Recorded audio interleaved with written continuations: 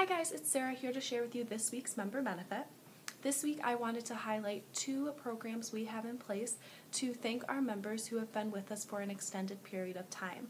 At the local level, we offer a life membership, which can be achieved after 35 years of consecutive membership uh, here at your local association. Once you achieve that, um, all of your local dues are waived.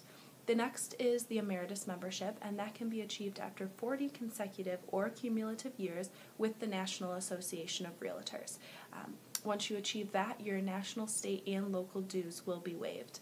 Uh, it's important to note that NAR recently changed their requirements for emeritus status, so not only do you have to have reached that 40 year membership mark, but you do have to have served on a committee either at a local, state, or national level.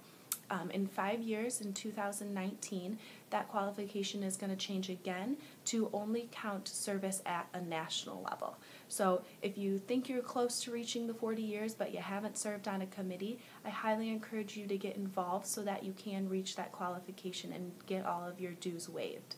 This year, the applications for emeritus status are due on April 2nd. So if you think you apply or qualify, please um, contact me before April 2nd so I can get your application sent to the National Association of Realtors for approval. And that'll start um, waiving your dues at the next billing cycle in August of 2014. If you have any questions, please feel free to contact me. I can tell you all the ways you can get involved, tell you if you qualify for membership. Um, it's just another great benefit of being a member here at the association and a great way that the association thanks all of their dedicated members for um, their lifelong service. Thanks, guys.